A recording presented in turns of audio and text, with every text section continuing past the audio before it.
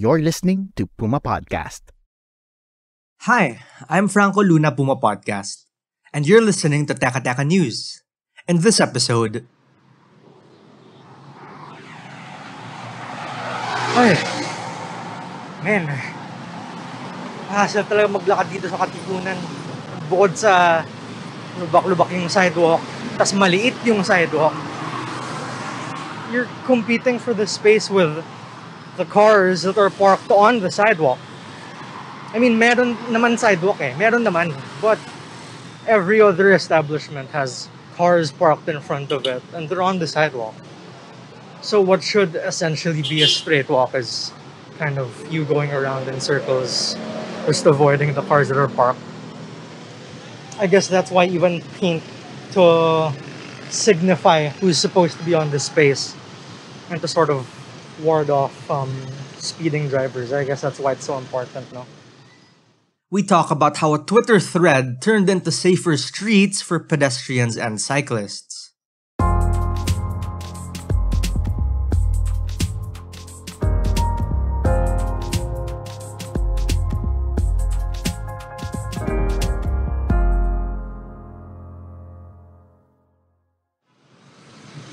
I've lived here for essentially my entire college life, and I have heard stories of pedestrians or cyclists getting run over here or hit by cars that are speeding.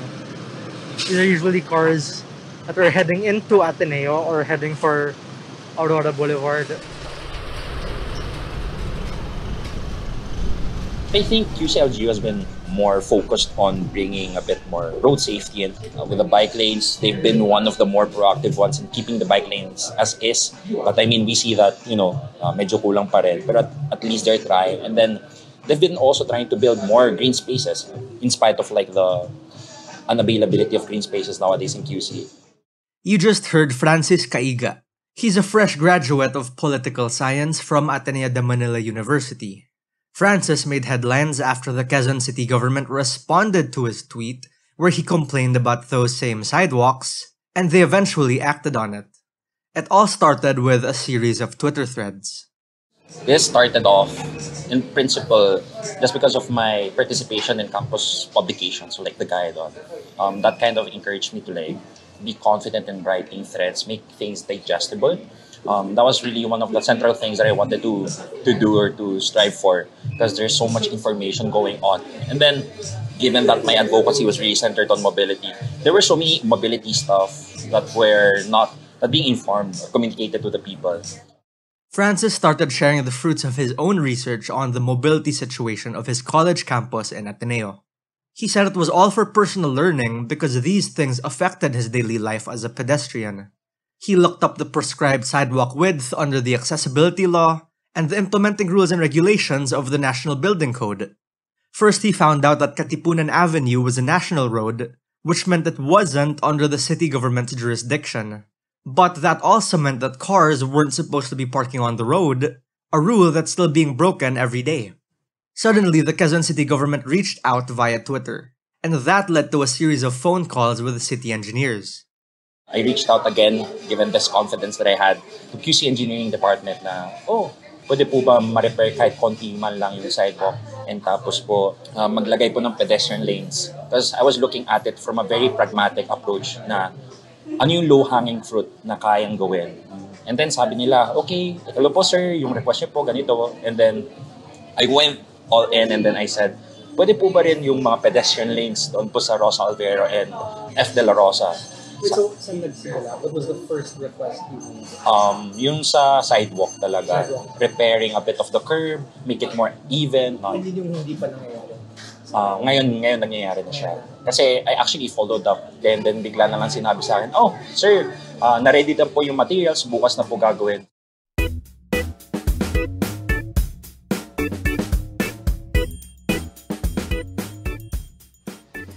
I'm standing here na sa intersection ng uh, Fabian de la Rosa Street and C5 Katipunan. I've actually lived in this area for a few years. Ngayon lang ako nakakita ng painted sidewalk dito, painted na tawiran. Um, it's much clearer. Um, it used to be faded at one point, and I think even before that, walang painted na tawiran altogether. That's right, there are now pedestrian crossing lines in key intersections along Katipunan. You might have already seen them yourself. They're along De La Rosa and Rosa Alvero. Francis says the request was to have lanes painted to signal drivers to slow down when turning to keep pedestrians safe. There's still no proper stoplight for when pedestrians know when to start walking. But uh, it's, it's a start, right? It signifies that you can walk here and that uh, motorists should be yielding to you if you're a pedestrian walking on these lines. Malaking bagay yan. As a cyclist, Francis experienced the hazards of poor quality sidewalks and roadways firsthand. Just 16 days after his request, the sidewalks close to Rosa Alvero Street were sealed off to make way for repairs. A lot of people online especially have told me that, you know, the elevated crosswalks would help a lot, um, making cars really slow down. Um, but I think that's maybe the next step.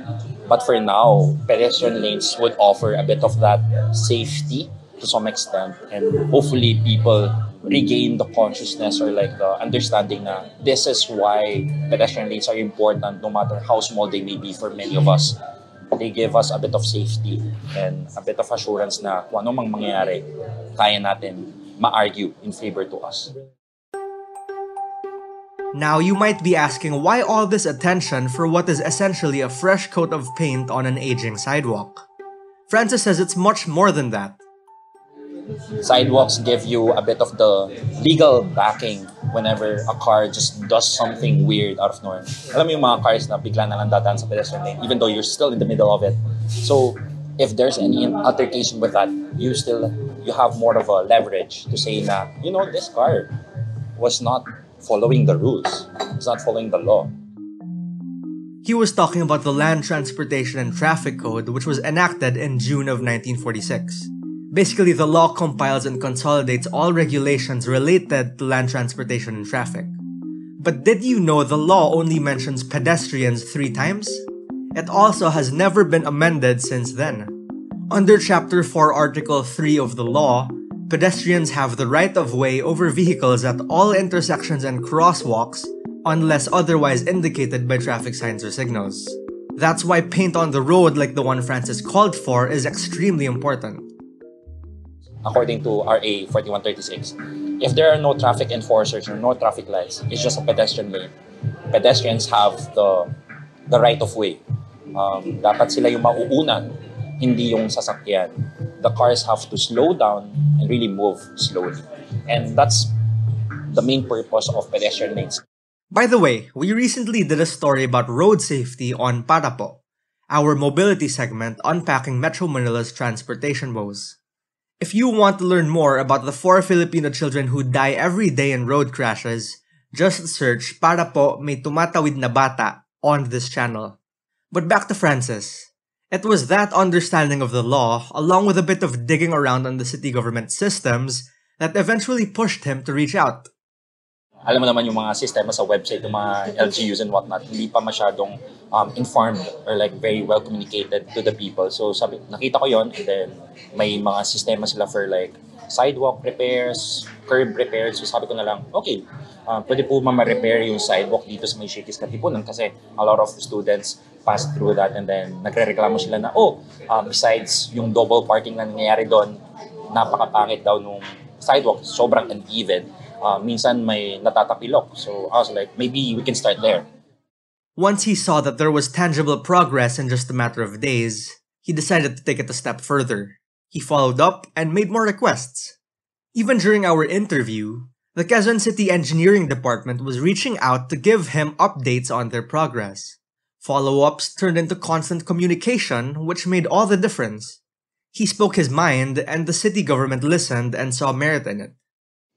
I went all in with the pedestrian crosswalks kasi my reasoning was that these turns papuntang paloob ng local road, mabilis yung pinanggagalingan ng mga cars. So minsan kapag nagto-turn sila, the pedestrians are quite unsafe. And then I said that to them and interestingly enough, they understood the reasoning na oh, oo nga po, mabilis nga po dumadaan yung mga cars galing Katipunan Avenue papunta sa pag nagta-turn sila. We're pausing for a quick break now. When we return, what does this mean for local participation?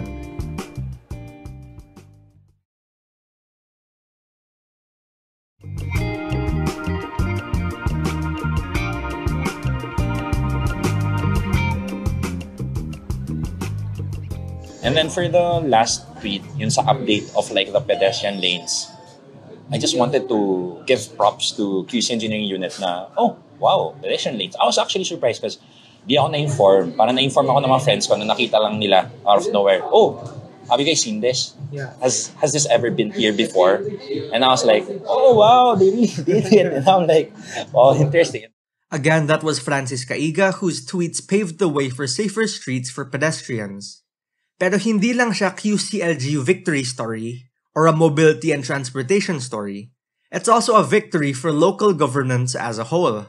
Local stories aren't as sexy as national ones, but Francis says engaging at the local level can make all the difference.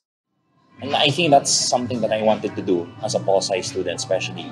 Na there is an opportunity in the local communities that you have. Approach your barangays, especially since the elections will be coming up um, later on this year. There's an opportunity in the, your local communities. Engage with the people, your neighbors, and do something for them or with them.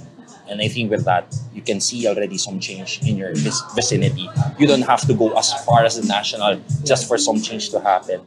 And for Francis, this participation can also look like an earnest phone call with engineers from the LGU. It doesn't take away from what the City Hall was able to do, but Francis says that speaking out definitely played a big part in making all this possible. Right after I made the call, nag-tweet ako, I was saying na, I, I requested this pedestrian lane sidewalk. How long will it will this take me? No one necessarily answered. Parang sabi lang nila na, you know, depends sa priorities of mayor and all that. And then it got a bit of of engagement, mga 300 likes, and then some retweets out there. I guess through my discussions also with other with other friends, parang feeling ko may factor pa rin yung virality. I think it gives more of a an eye over to move forward with the request, knowing that this person that tweeted has quite a bit of attention now. So if ever that he follows up with another tweet or something like that, maybe maiba yung, yung perspective ng mga tao sa QCLGU. Francis says all he wanted to do was to show people that things could work well at the local level, even if it means explaining to the city government how things like sidewalks matter to ordinary citizens. The message from this is clear. Makialam tayo sa mga nangyayari sa komunidad natin. Like Francis, we might also find our words become grounds to stand on. And there will always be those opportunities in our local communities. And maybe there's something we can all learn from that experience. I think for me, it's it's been quite the culmination of my four years in college. It's been an interesting way to close the book. Ayun, the threads really rooted in how I wanted to make information more digestible, communicate information that has not been very accessible to other people, use social media platforms because that's very available, that's readily available, and then communicating with QCLGU and pursuing it uh, really centered on my pol-sci background of really talking to LGU, making the theory more into practice, really seeing it happen. And that was today's episode of Teka Teka News. Again, I'm Franco Luna. This episode was edited by Freddy Blanco. If you like this episode, share it with a friend or two. And of course, don't forget to follow Teka Teka News and Puma Podcast on your favorite podcast app or on YouTube. Thanks for listening.